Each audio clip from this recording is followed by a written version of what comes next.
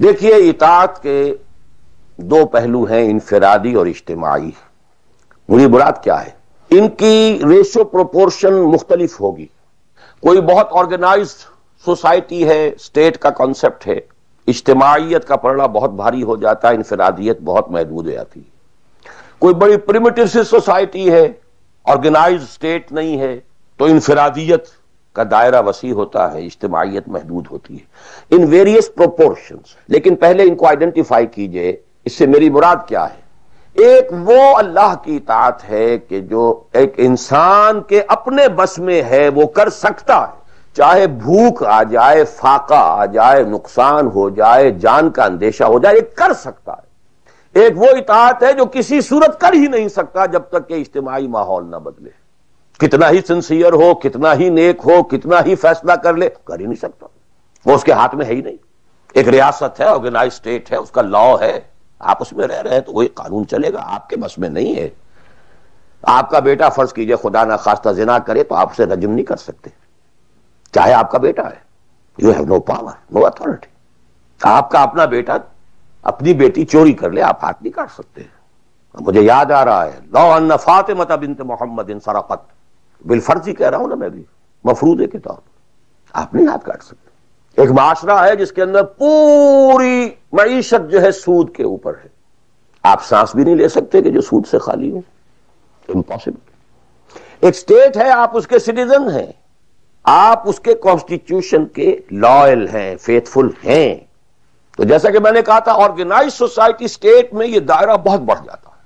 Tribal है वहाँ यह कि इंफरादियत का काफ़ी दायरा होता है। कानून कम से कम होते हैं, नज्म कम से कम होता है। सिस्टम जो है, उसकी गिरफ्त कम से कम होती है। अब देखिए, दो हैसियतें दुनिया में मुमकिन हैं। एक इंतहाई खुशबख्ती की, इंतहाई खुशकिस्मती की कि एक इंसान एक ऐसे माहौल में पैदा हो गया है, या वो हिजरत करके ऐसे माहौल में चला गया है, जहाँ टोटल दीन गालिब है। दीन कायम निज़ाम है दीन का, हुकूमत है अल्लाह की। वहाँ जाकर इंसान कितना how at ease he will feel no friction वो भी अल्लाह की बंदगी करना चाहता है, माहौल भी साजगार है। पूरा निज़ाम भी अल्लाह की बंदगी पर है। पूरा कानून भी अल्लाह ही का नाफिस है। पूरा तालीम का ढांचा भी अल्लाह ही के हिदायत के मुताबिक है। तमाम जरा इबलाग से भी उसी के मुताबिक चीज़ें हैं जो नशर हो रही हैं। ऑडियो विजुअल सब कुछ। इंतहाई खुशकिस्मती। Most fortunate. कि एक इंसान ऐसे माहौल में हो। लेकिन फ़र्ज़ कीजिए कि वो ऐसे माहौल में है जहाँ अल्लाह का दीन गालिब नहीं बहुत महदूद सा हिस्सा है जिसमें वो अल्लाह का हुक्म मान सकता है। नमाज़ वो पढ़ सकता है, रोजा रख सकता है, कोई नहीं रोकता। इसराइल में भी जाके पढ़ लीजिए नमाज़ और रोजा। अमेरिका में कर लीजिए, भारत में कर लीजिए, कोई नहीं रोकता।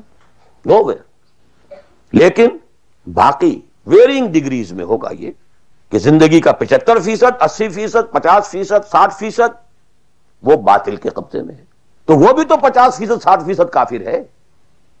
Is a part and parcel of that environment of that system Quran के तीनों फतवे उस पर भी तो लग रहे हैं। मल्लम यहकुम बिमानफिरून काफिरून। मल्लम यहकुम बिमानफिकून फासिकून। मल्लम यहकुम बिमानफिकून वही जालिम है और जालिम से मुराद मुशरक। इन शिर का नजुल्म नाजीम वही काफिर हैं। बुतों से तुझको उम्मीद है, खुदा से नौमीदी मुझे बता तो सही, और काफरी क्या है? कुफर कहते किसे? वही तो फासिक है, नाहंजार है, बागी है। वेरिंग डिग्रीज के अंदर, जितना भी उस निज़ाम की गिरफ्त है, उस दर्जे में हर वो शख्स काफिर और जालिम और मुशरक है, जो उस माहौल में रह रहा है। इन दोनों हालतों में दीन के तकाजे बिल्कुल एक दूसरे के बरक्स हो जाते हैं।